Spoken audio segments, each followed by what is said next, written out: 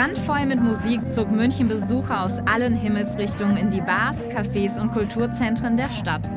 Zum 18. Mal machte die lange Nacht der Musik ordentlich Stimmung. Eine Stadt, eine Nacht und 400 Konzerte. Wir haben über 100 Spielorte. Von daher sind alles Highlights. Wir haben Klassik dabei, Kirchen dabei, Jazzkeller, Rockschuppen kann man schon fast sagen. Momentan sind wir hier im Künstlerhaus. Das ist eine der Attraktionen, aber natürlich der Gasteig zieht am meisten Menschen. Da sind alleine 25 verschiedene Bands auf den verschiedenen Sälen. Also das ist schon an sich eine Nacht alleine wert. Die große Faszination an der langen Nacht der Musik ist, dass es über 400 Livebands zu erleben gilt.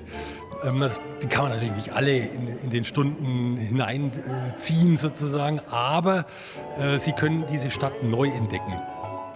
Auf musikalische Erkundungsreise zogen tausende Menschen durch die Straßen.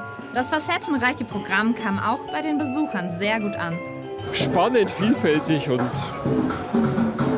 unser erstes Mal bei der Langen Nacht. Obwohl ich, obwohl ich aus München komme und schon lange hier wohne, aber heute haben wir gesagt, heute packen wir es, heute gehen wir her und bin begeistert.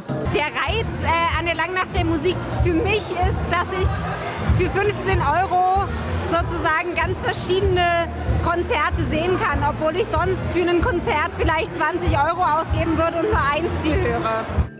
Abgesehen von den experimentierfreudigen Besuchern ist die Lange Nacht der Musik auch für Veranstalter und Musiker eine tolle Gelegenheit, um Kontakte zu knüpfen und neues Publikum zu erreichen.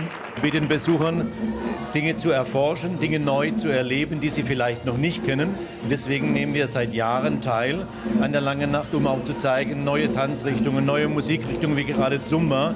Wir haben jemand aus Amerika da, der bei uns Zumba macht. Also für uns jetzt speziell springt hier sehr viel Laufkundschaft raus. Ähm, Open Air ist immer gut für äh, viele Leute erreichen, für neue Leute erreichen. Und Lange Nacht der Musik ist so eine Institution in München. Das da muss, macht, man, da muss man einfach dabei sein. Das macht einfach auch Spaß. Das ist super. Schon jetzt beginnt wieder die Planung für die nächste Lange Nacht der Musik.